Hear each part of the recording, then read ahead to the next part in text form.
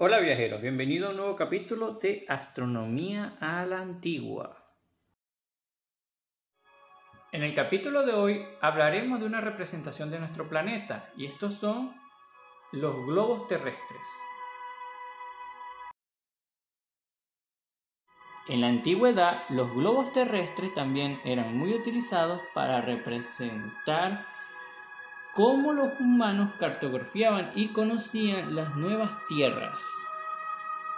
Estaba constituido por una esfera, la cual contiene un mapa, y este mapa está dividido en los meridianos y paralelos.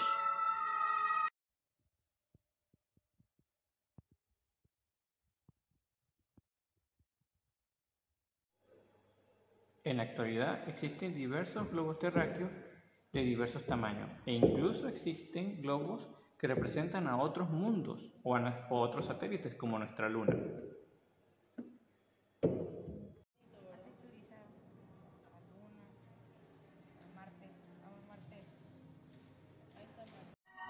Ahora cuéntanos, ¿conocías de alguno de estos instrumentos?